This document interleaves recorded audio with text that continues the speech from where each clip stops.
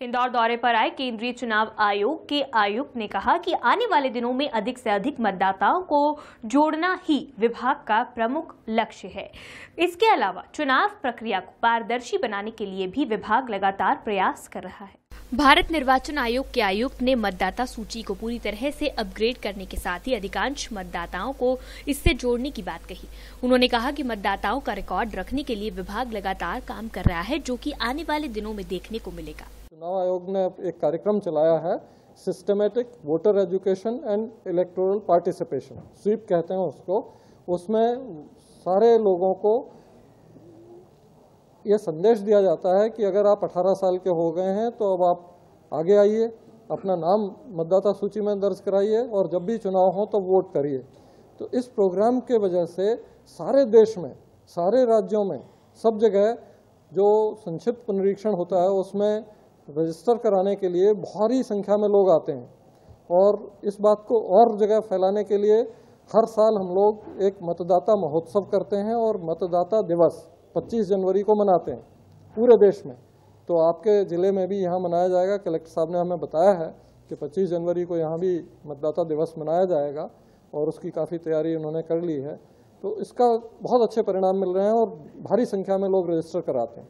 प्रयास हमारा यह है कि कोई भी ना छूटे। ज़ीरो वहीं लगातार मतदाता सूची में आने वाली गड़बड़ियों की शिकायत और फर्जी वोटर आईडी बनाने जैसी गतिविधियों पर भी चुनाव आयुक्त ने जल्द ही इस तरह की समस्याओं को दूर करने की बात कही। फर्जी वोटर आईडी के मामले जब भी हमारे सामने, आयोग के सामने लाए जाते हैं तो उसका पूरी तरह से इन्वेस्टिगेशन करके उससे जो भी चीज़ें उद्भूत होती हैं, उन चीज़ों को प्लग करने के लिए, उनको रोकने के लिए निर्देश जारी कर कर सकते हैं, कर दिए जाते हैं। ताकि वो भविष्य में ना हो पाए।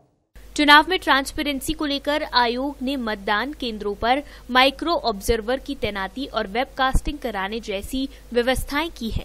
अब विभाग मतदान केंद्रों पर वीवीपैट जैसी मशीनें लगाएगा। नई मशीन भी हम लोग कई जगह लगा रहे हैं जिसको कहते हैं voter verifiable paper audit trail VVPAT.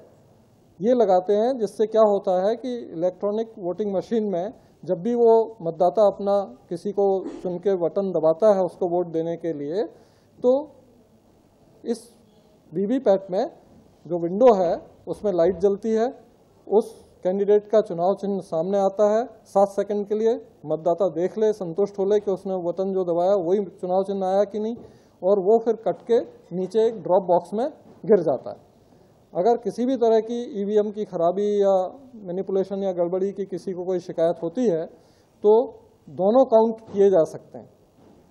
Symbol और जो वोट है, और उसको मैच किया जाता है। तो मैच करने में जो आता है कि भाई ऐसा कुछ नहीं हुआ तो इस तरह के कई चीज़ें हैं इसमें जो ये साबित कर सकते हैं कि भाई पूरे पारदर्शी तरीके से बिना किसी गड़बड़ी के इलेक्ट्रॉनिक वोटिंग मशीन से निर्वाचन संपन्न इस तरह से कुल मिलाकर देश में संपन्न होने वाले चुनावों को लेकर चुनाव आयुक्त ने लगातार सुधार लाने की बात कही।